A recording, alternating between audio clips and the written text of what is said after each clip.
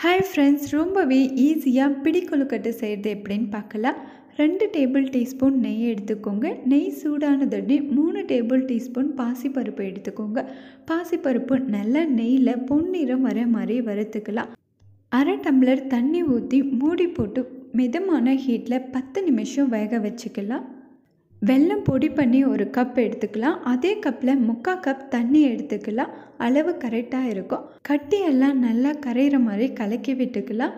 கால் teaspoon உப்பு எடுத்துக்கலாம். ரெண்டு ஏலக்காய் எடுத்துக்கலாம். வெள்ளை தண்ணி ஒரு கொதி வந்ததுடனே காப்பி வடிகட்டி எடுத்து நம்ம வெள்ளை தண்ணியை வடிகட்டி எடுத்துக்கலாம். சின்ன சின்ன கல் தூசு இருந்தால் கூட வெள்ளத்தில் அது தனியாக வந்துடும். இப்போ நம்ம பாசிப்பருப்பை வேக வச்சுருக்கோங்க. வடிகட்டி இருக்கிற வெள்ளை தண்ணியை ஊற்றி கலக்கி விடலாம். வெள்ளை தண்ணியும் பாசிப்பருப்பும் நல்லா கலந்து விட்டுட்டு ஒரு கொதி வந்ததுடனே முக்கால் கப் அளவுக்கு வெல்லம் எடுத்திருந்தால் ஒரு கப் அளவுக்கு அரிசி மாவு எடுத்துக்கலாம். கொஞ்சம் கொஞ்சமாக அரிசி மாவை கொட்டி கலக்கி விட்டுட்டே இருக்கலாம். கட்டி ஆகாத மாதிரி நம்ம நல்லா அழுத்தி கலக்கி விட்டுக்கலாம்.